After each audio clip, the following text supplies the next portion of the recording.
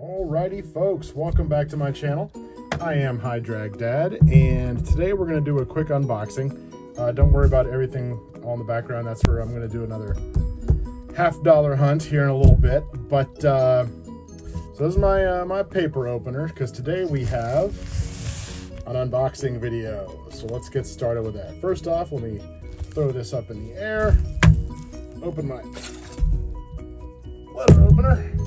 Y'all thought I was kidding when I said I used to uh, sell knives and swords. All right, it should be falling again here soon. So, all right, open. Yes, that was cringy, but enjoy it. All right, we're back. Unlike Merida, we do leave our weapons on the table. All right, so let's see what we got. Uh, this is actually an interesting purchase because this was going to be my first poured silver. Uh, I believe it's from Nine Fine Mint. Toss that to the side.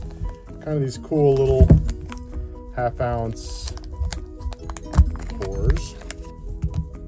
Pretty neat, right? I like it. Like skulls. Some Nine Fine Mint. Blah, blah, blah. One half troy ounce, three nines, fine silver, beautiful. Um, these bags are kind of cool, but maybe I'll just, I know, I haven't decided if I'm gonna keep them in the bags or not. They're pretty, pretty cool. I do like that they were all unique. I actually did not realize that they would be all different shapes. I thought they were gonna be round. Um, now this is actually my second pieces of poured silver. Uh, the first will be revealed maybe in a slightly future video. In the near future, these are really cool. I like skulls, like anything piratey. Mad shout out to Pirate Stacker.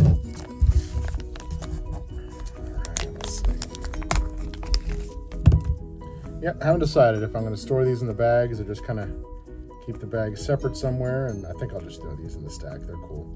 I got them. They're neat.